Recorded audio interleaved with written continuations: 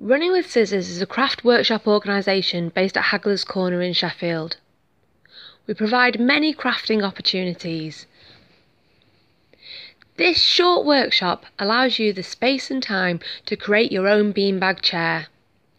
Whether for a child's bedroom or for you to relax and enjoy in your own living room, your beanbag chair can be made in the ideal material to suit your home environment. Skills involved in this workshop include cutting material to shape, salvaging the edges of material to prevent fraying, creating secure seams, inserting a zip, assembling your project and filling it with beans.